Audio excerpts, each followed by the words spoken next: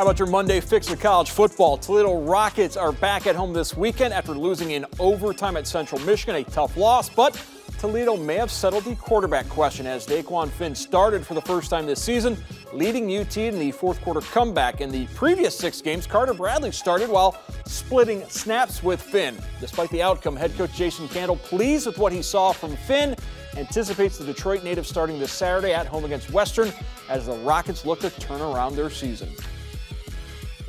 Season's a long season. It's a long progression, you know, and you got to do a great job of making sure that you continue to you know, highlight the things you're doing well and do a really good job of telling yourself the truth on the things that you're not and address them and fix them and um, continue to press on.